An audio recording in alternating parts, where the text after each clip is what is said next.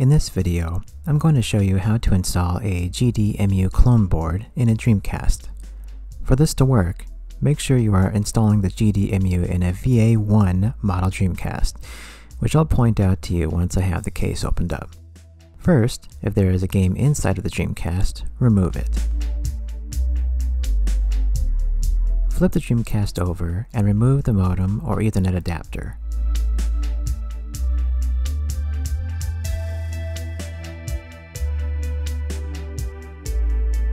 Next, take your screwdriver and unscrew the four screws.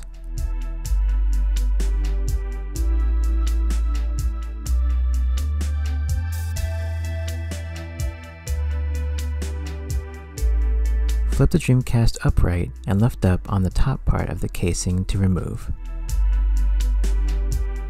To know if your Dreamcast is a Model VA1, notice the fan on the right side of the Dreamcast. It should look black like this. If it is any other color, then this is not a VA1 model Dreamcast, and the GDEMU board should not be used. There are three more screws to remove here, one to the right, one on the left, and one to the rear of the GD-ROM drive.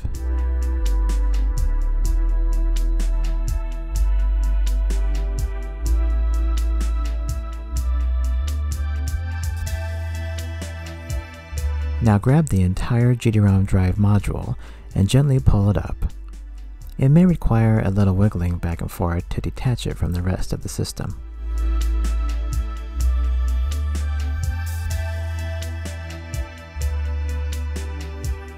On the GDEMU unit, insert the standoff pegs that were included with the board into the three holes.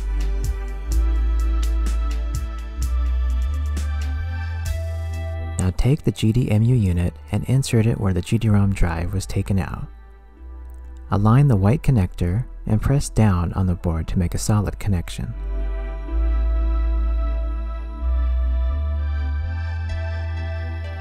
Reattach the top part of the Dreamcast case back into place and carefully flip the unit upside down.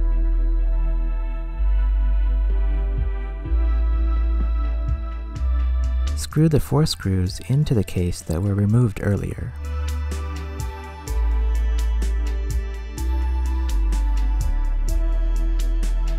Reattach the modem or Ethernet adapter and flip the Dreamcast back around. Now your Dreamcast is ready to play games off the GDEMU SD card.